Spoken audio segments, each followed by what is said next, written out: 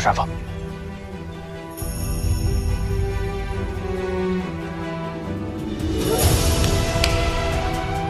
要雇个大点的马车了，要不然这么多行李也装不下。妙妙，还是要把大包小包都带在身边吧。看来这次不是妙妙。看他，我就说了不要带这么多。这还多，已经很少了。你看啊，咱们路上也不知道遇上什么样的住处，熟悉的包袱铺盖得带好，不然你睡不好。马上入秋了啊，寒天的换洗衣服也少不了。那枕头呢？这是妙妙睡惯了的，带上吧。翠翠，你去书房，把妙妙用惯了的碗筷拿上一放。那，哎，那这铁锅总不用了吧？太重了。你不是说京城这种铁锅炒菜更好吃吗？又把我当跑腿。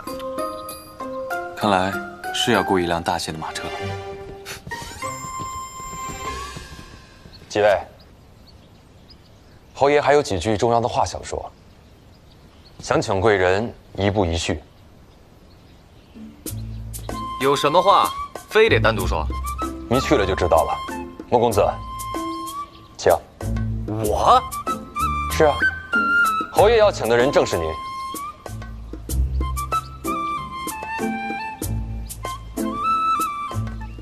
找我？是啊。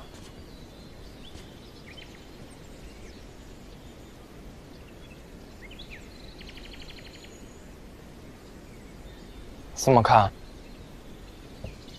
你确实比我更像父亲一些。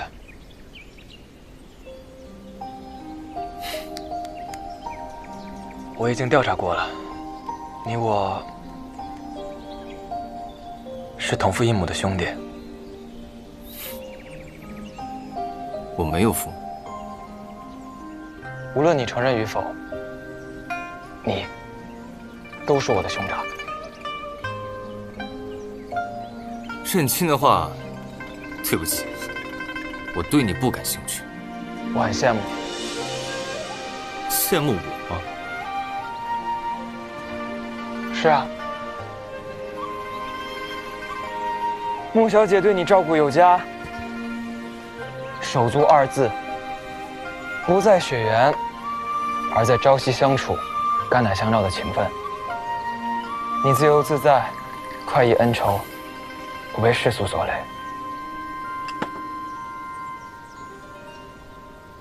你可以跟心爱之人两情相悦，相随相伴。世间没有任何可以阻碍你们的，这都是父亲一生所求而不得的东西，也是我所羡慕的。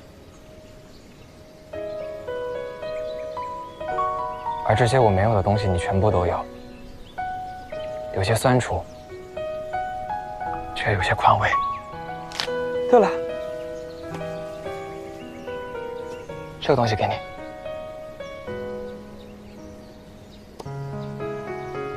这个应该是你母亲的东西。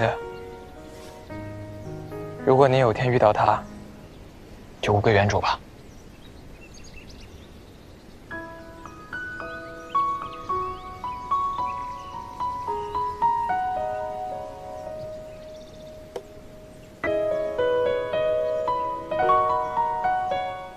时间也不早了，我就不耽误你们了。